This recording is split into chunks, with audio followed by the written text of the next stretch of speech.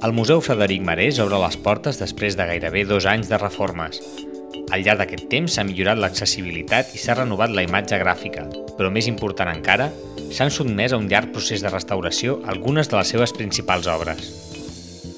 S'han restaurat que immobles, s'ha restaurat una part també de, de la febreria i sobretot amb escultura home, hem posat al dia, hem fet una, un programa de neteja, conservació i restauració dels grans noms, Alonso Berruete, que ens ha servit una mica el leitmotiv de tota la nostra imatge gràfica, el retaule, una peça molt important, un retaule sencer de Manuel Álvarez, un escultor renaixentista. També hem restaurat doncs, una peça d'un altre escultor castellà, Lope de la Rea, que ens han sortit unes policromies precioses. Hem restaurat els alabastres, que també una col·lecció de relleus d'alabastres molt bonic. En realitat, hem restaurat moltes coses.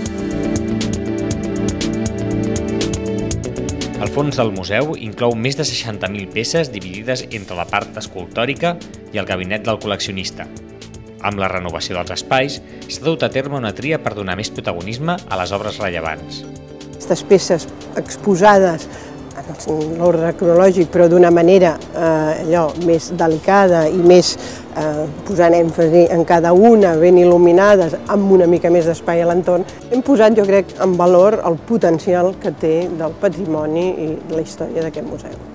La col·lecció que Frederic Marès va reunir durant més de 80 anys va ser donada a mitjans del segle passat per l'artista a l'Ajuntament de Barcelona.